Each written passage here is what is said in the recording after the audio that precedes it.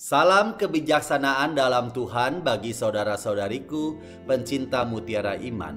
Sekarang kita akan mulai belajar tentang karunia roh yang pertama, yaitu roh kebijaksanaan atau roh hikmat. Kebijaksanaan adalah karunia untuk dapat melihat segalanya dengan mata Tuhan. Tujuan karunia ini adalah untuk melihat dunia dengan segala situasi, keadaan, masalah, dan segalanya melalui mata Tuhan. Itulah kebijaksanaan. Terkadang kita sering melihat segala sesuatu tergantung dari kesukaan dan kondisi hati kita. Dengan rasa suka atau kebencian, dengan rasa iri hati. Saudara-saudariku, itulah bukan perspektif Tuhan Hikmat adalah Roh Kudus yang bekerja di dalam diri kita, sehingga memungkinkan kita untuk melihat sesuatu dengan mata Allah. Inilah karunia kebijaksanaan. Tentu kita bertanya, dari manakah asalnya karunia kebijaksanaan itu? Jelas ini berasal dari relasi intim kita dengan Tuhan, dari relasi yang dimiliki anak-anak dengan bapak mereka dan ketika kita memiliki relasi ini, Roh Kudus memberkati kita dengan karunia hikmat.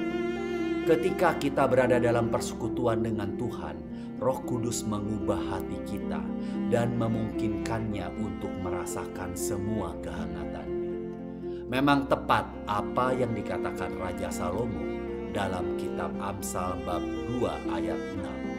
Karena Tuhanlah yang memberikan hikmat dari mulutnya datang pengetahuan dan kepandaian, sebab Tuhan mengaruniakan hikmat, pengetahuan, dan pengertian datang dari mulutnya. Diceritakan seorang suami yang baru saja pulang kantor, ketika tiba di rumah, ternyata tidak ada makanan di meja, sementara istrinya sedang menonton TV. Lalu suaminya bertanya, "Tidak ada makanan, Bu?" Istrinya yang sedang asik menonton langsung menyahut dengan lantang. Kamu tidak bilang mau makan di rumah sih?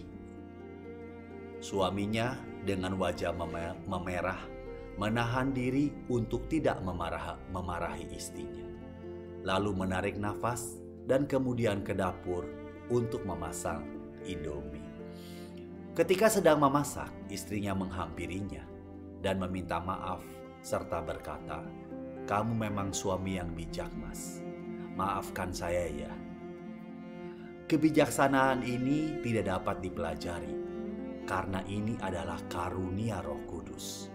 Karena itu, kita harus meminta kepada Tuhan untuk memberikan Roh Kudus dan karunia kebijaksanaan yang mengajarkan kita untuk melihat dengan mata Tuhan untuk merasakan dengan hati Tuhan dan untuk berbicara dengan kata-kata Tuhan. Maka, dengan kebijaksanaan ini, marilah kita berani untuk maju, untuk membangun keluarga dan gereja kita. Maka, kita semua akan dikuduskan. Oleh karena itu, pada hari ini, marilah kita meminta rahmat kebijaksanaan ini dari Roh Kudus Tuhan Yesus memberkati. Salam sehat bagi kita semua.